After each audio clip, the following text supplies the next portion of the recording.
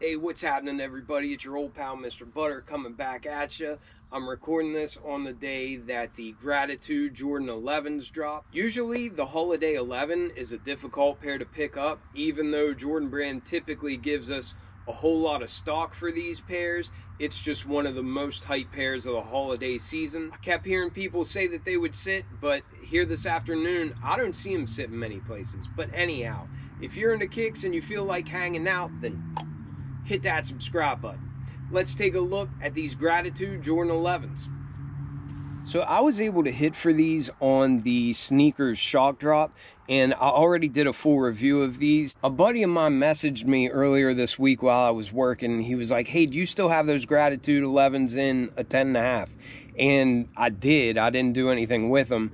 And he pretty much begged me if he could buy them off of me for $250 at that time, I kept hearing how many numbers there were and all that stuff. I was pretty sure that I would be able to get my size at my local finish line. So I did go ahead and hook him up. He was in need and I don't know, sometimes it just feels nice to help somebody out. But anyhow, he came out to my house immediately and grabbed him.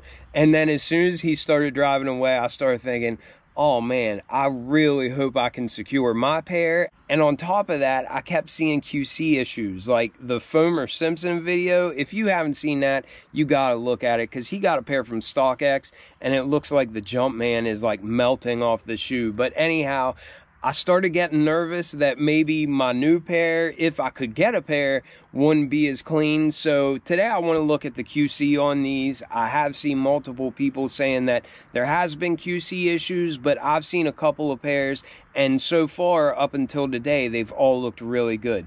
But anyhow, I was able to get my pair through EA on Finish Line. I actually had like three different opportunities to use EA on Finish Line. The first time, which is the one that I did, was for the in-store pickup the day of release. Then the two days after that, it gave me EA for the ship to me option this wasn't a shoe that I needed to have multiple pairs of, but I definitely wanted to have my own pair. It is expensive, 230 bucks before tax.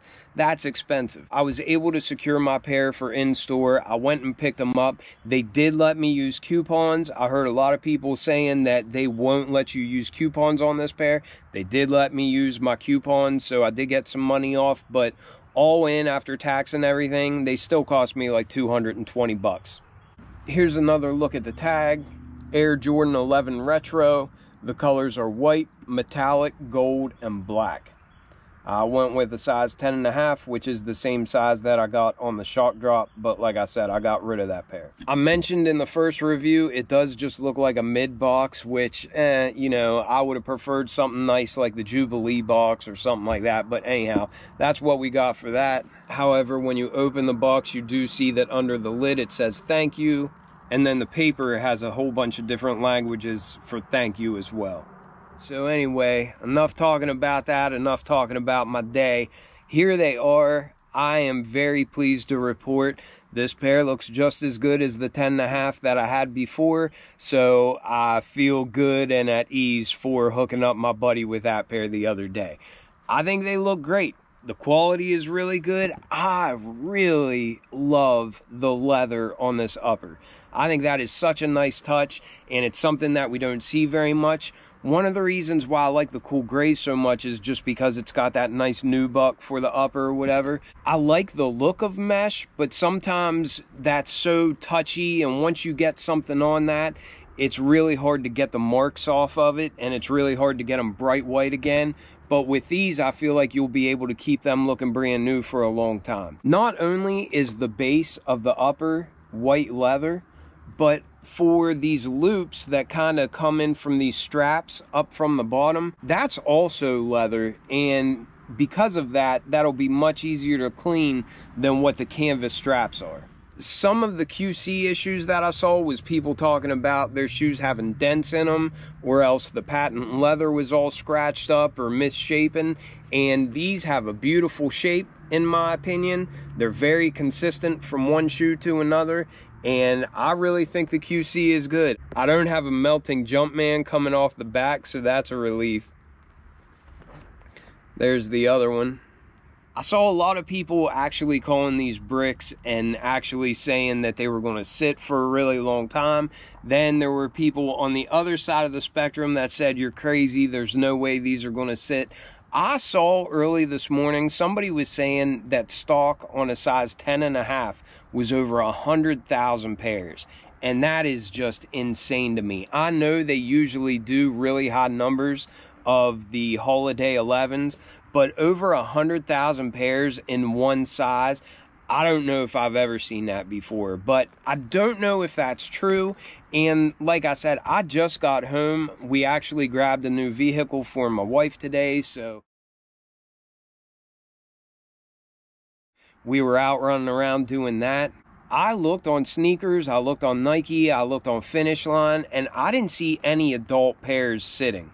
So maybe these did sell out. Maybe they just took them down to kind of make it look like they sold out. So let me know in the comments if they did sell out, if you were able to get a pair. I don't know how easy or how difficult it was because by that time I was already running errands and trying to get stuff done for the day. So let me know how it went. One of the really nice things about being able to reserve a pair for in store is just you don't have to deal with the madness. So because I had my pair reserved, I really have no idea how the drop went but I'm really wondering if they did sit for a little while or if they got snatched up pretty quick. Because either way, it wouldn't surprise me, but the mass amount of stock, if that's true, then I wouldn't be surprised if they sat for a little while. I think this outsole is gorgeous. I love this kind of milky translucent rubber for the outsole. Of course, we have the black herringbone under the forefoot and the heel. And then in the midfoot, we have that carbon fiber plate and it's got a little bit of gold tint to it. I really like that. Then we also see the Jumpman underneath that translucent material. Same midsole as always, the same texture that we always get for Jordan 11 midsoles, nothing really to review there. Then of course we got that nice black patent leather. We've got a tumbled leather upper and I really like that. But then these straps that hook into the lacing system are all a smooth white leather, and I think that looks really nice. The tongue is more of a white tumbled leather. On the tongue it says Jumpman Jordan, and then it's got a gold Jumpman there in the middle. On the back we see that classic 11 font for the 23. And then we have our gold Jumpman They've got white rope style laces in them, but I wouldn't put anything else in there.